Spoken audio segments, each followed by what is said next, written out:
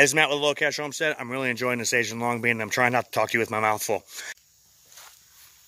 Hey, good afternoon, everybody. Matt with Low Cash Homestead, and I just walked through a spider web. Uh, since I've started building this high tunnel structure, spider webs are everywhere. Uh, I told you that I wasn't particularly planning to plant a fall garden because I was focusing on the high tunnel. So let me show you some of the stuff we got done on the high tunnel, and then I'll show you what I've done as far as fall garden goes. Just remember, if you're subscribed to our channel, uh, this red wristband, by the way, I was not in the hospital. This is an all-access pass to uh, the St. Louis Zoo.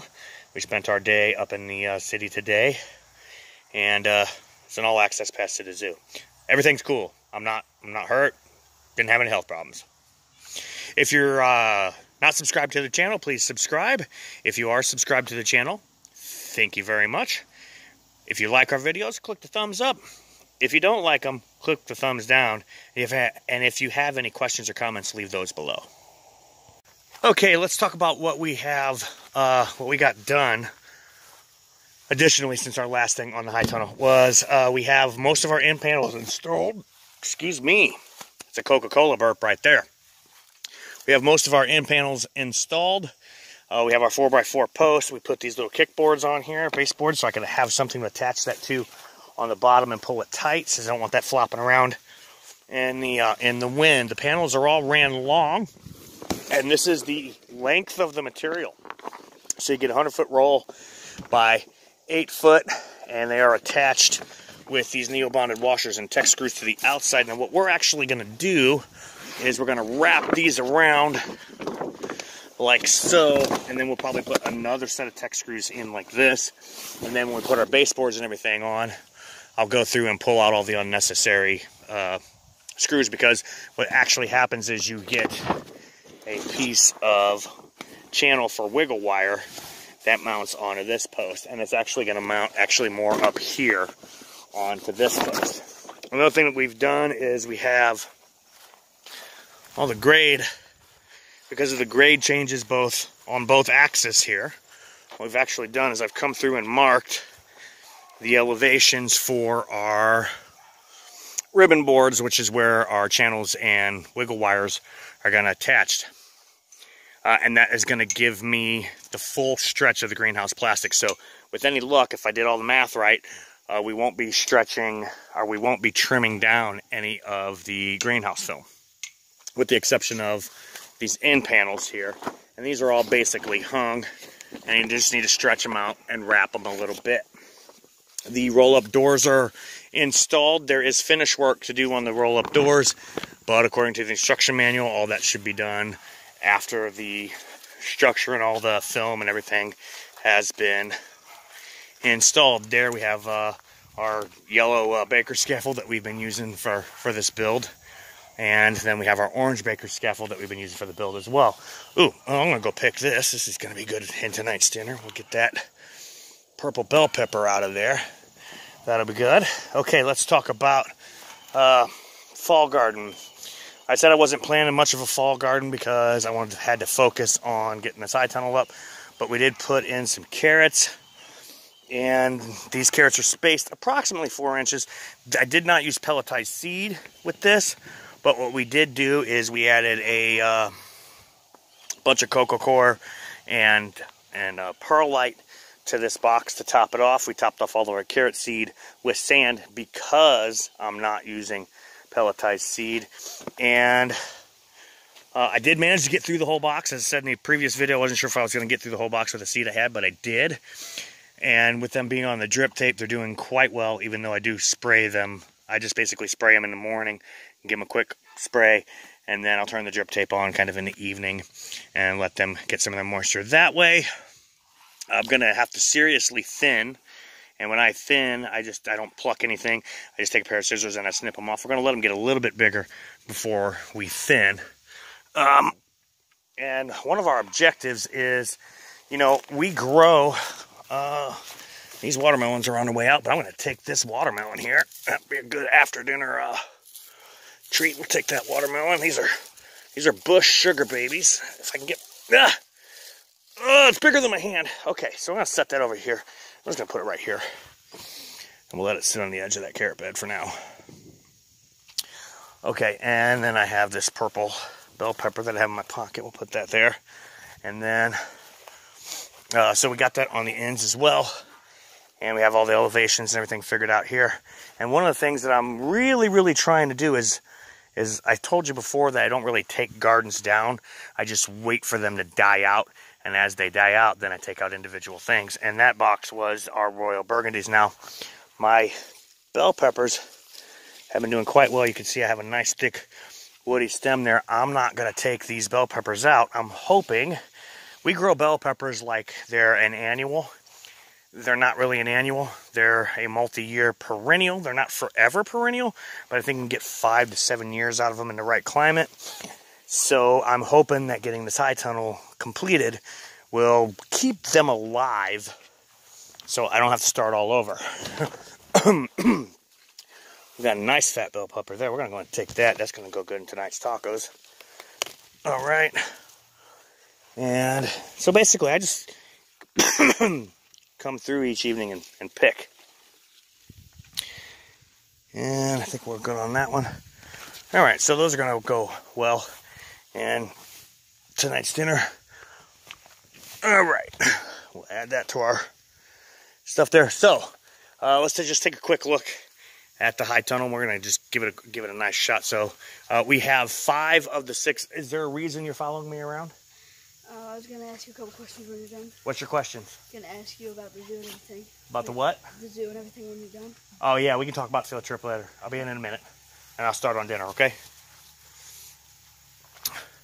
Okay, so th this trellis is starting to come out. So um, I still got some. I mean, I do a lot of stuff polyculture, and what I did here is I wove tomatoes, Asian long beans. I got an itch on my hand, excuse me, blocking the shot there. I wove uh, tomatoes, Asian long beans, Kentucky climbers, um, and well, several different types of tomatoes actually, and I just wove them all into that. Now, when I wove this one, I wove cucumbers, uh, Kentucky Climbers, Asian long beans, and tomatoes into this one. You can see on the top, we've got lots of little yellow pear tomatoes that are still very, very active.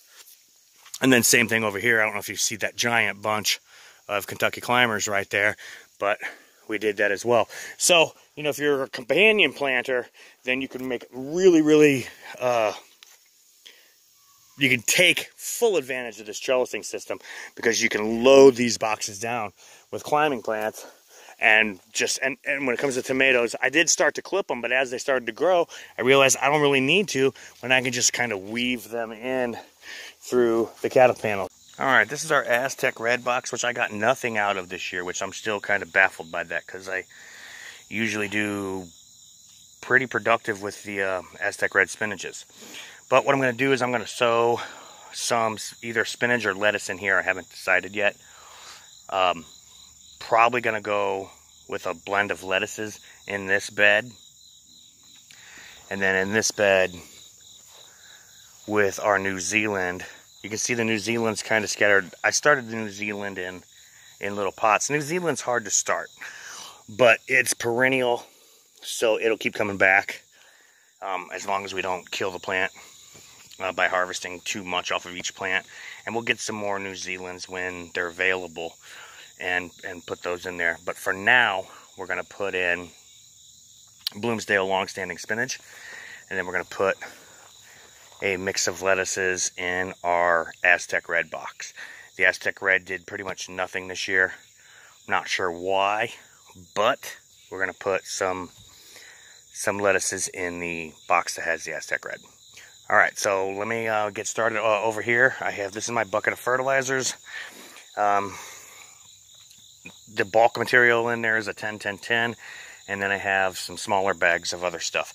I am going to use probably a 12 10 5 on the spinaches and a 12 10 5 on the lettuces, which I have a small bag of um, organic uh, fertilizer in there that's 12, 10, 5. That was organic fertilizers are usually a lot weaker in the NPK numbers, but I did find one that was a 12, 10, 5. So we're going to use that in these two beds. This is Matt with Low Cash Homestead. Thank you very much. Have a good day.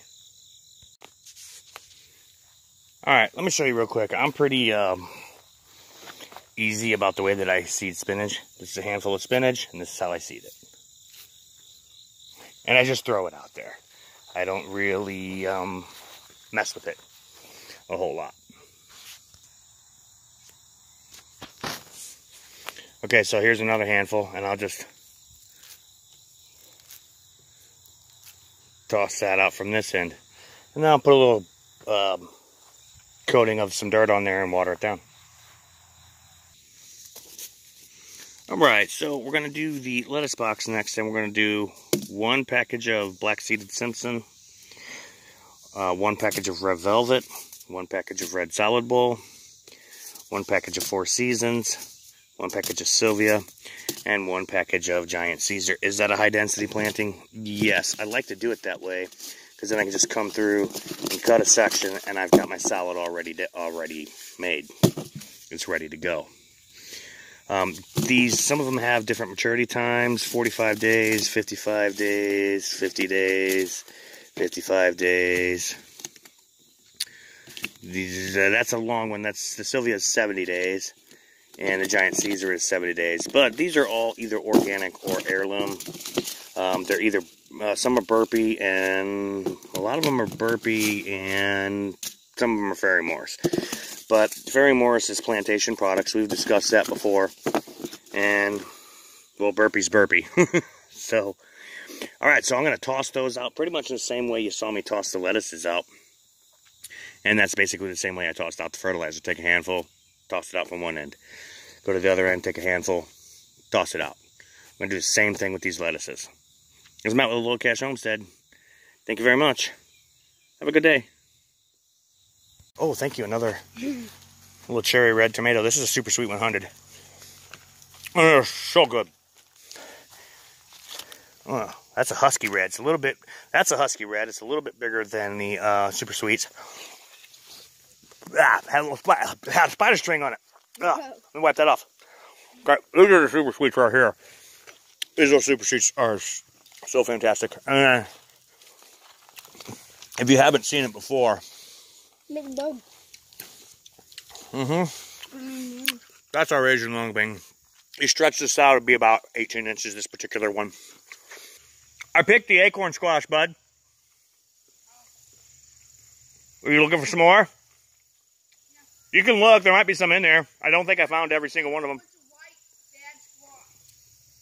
Uh, yeah, once the squash bugs come, that's a losing battle. Uh, I don't use pesticides or herbicides, so If you see any more acorn squash, feel free to grab them. Low Cash Homestead, my son's over in the secondary garden. Uh, picking up uh, acorn squash and stuff like that. I just walked through another spider web. crazy. Yeah, yeah. But this is exactly what I was talking about. About oh wow, let's see if I can get that on video. That thing is glistening. Uh, I don't think you're gonna see it real well, but this is what I was talking about. I started clipping the tomatoes and it turns out you don't need to. Not with this cattle panel trellis design. You just weave them in. So, you know, um, I don't ever, ever, ever take tomatoes down. My son just shoved a yellow pear tomato in my mouth. He's got a whole handful of them right here. So, there you go. So, I don't ever uh, take tomato plants down, like pretty much never.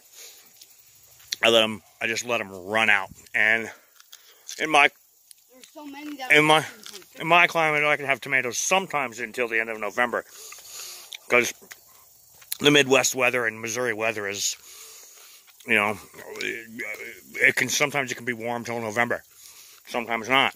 So I never take tomato plants down. I just wait for them to die. As Matt with Low Cash Homestead, I'm really enjoying this Asian long bean. I'm trying not to talk to you with my mouth full. Thank you very much. Have a great day.